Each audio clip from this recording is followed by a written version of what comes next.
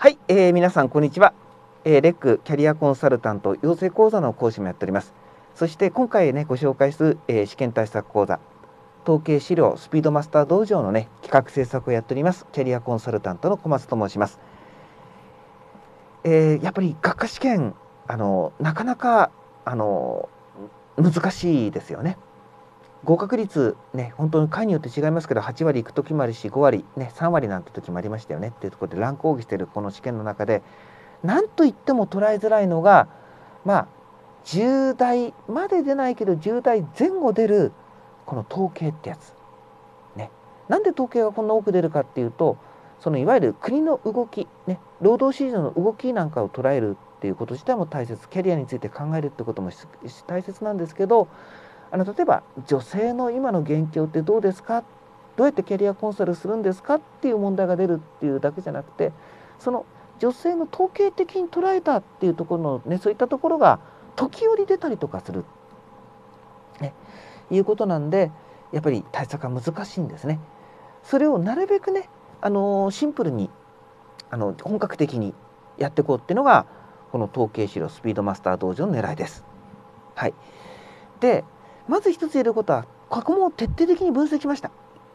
で分析すれば分析するほどいろんな問題が出てるってことが分かりました。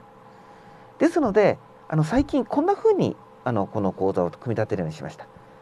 まず過去3回のねあの皆さんが協議会とか、ね、キャリア開発協会さんの過去問ねそそちらの方の試験のサイト行くと過去3回分の問題出てるじゃないですか。そのね統計に関してはまずざっと解説するようにしてます。こういうね出てますねいうところです。で過去20回ね皆さんの試験は21回用になると思うんですが過去20回の試験の中で数多く出てるものあとこういったテーマが考えられるなってことは第1章ってところから以降におきましてねで特にやっぱり過去問だけじゃなくて今後の予想問題なんかも含めて問題を解説あのその統計を解説しながらあのそこで私が作った問題をその場で解いていただいて知識確認しようというところでスピードマスターっていうのはそういうことなんですね。単にざっと統計だけ紹介するとも分かんないんでこの切り口で解いた時に皆さん解けますか？それをすぐ確認してもらおうというところになってます。でこの丸1に出てるねで丸2の括弧に出てる A から C って書いてあるんですけど A 賞から C 賞っていうのはこれ実はあの過去問ね試験出てるところですからそれは過去問ね追っかけてくださいということでもう一回解いてくださいってやるわけですね。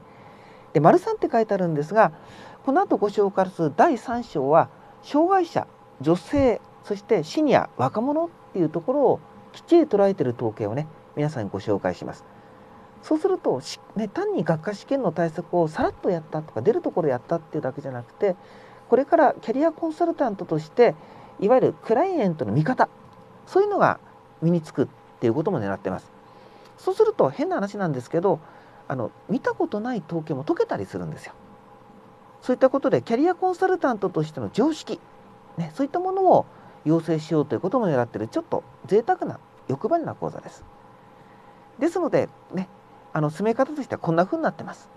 A 賞から C 賞に関しては第20から18回の統計とかね発表資料とかをご紹介していてで特に品質出てるねいうところ以外のものをご紹介してますからそれは試験のホームページの過去も見て解いてみてください。で解説見てください。で力つけてください。で第1章以降は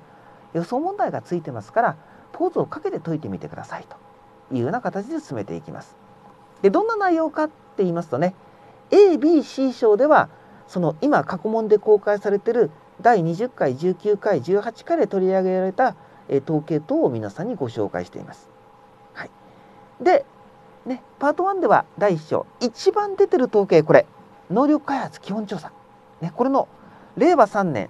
6月に出た最新版のデータご紹介しています。今回はねコロナがありましたからデータ動いてますんで、えこういったところも含めてご紹介しています。で第2章では基本統計ということでね、えー、令和3年版の労働経済白書、ね、これね2番目に出てる統計なんですね。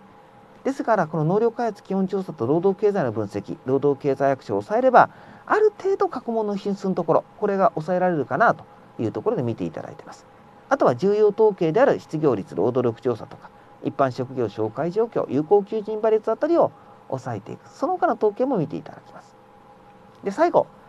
ね、パート3っていうところでは相談者のさまざまな類型ということで障害者8910章は女性。第11章はシニア。第12章は子どもと、ね、若者と。いうところでそこでいわゆるねさまざまなクライアントの類型を抑えることによってとにかくあのなるべく短い時間でとは言っても収録だけで7時間撮ってます。かなり長い講座7時間8時間弱になってますかね。それぐらい撮ってます。あの全力を尽くしました。あの編集、ね、からあのテキスト作るところは問題制作。すべて私一人でやってます。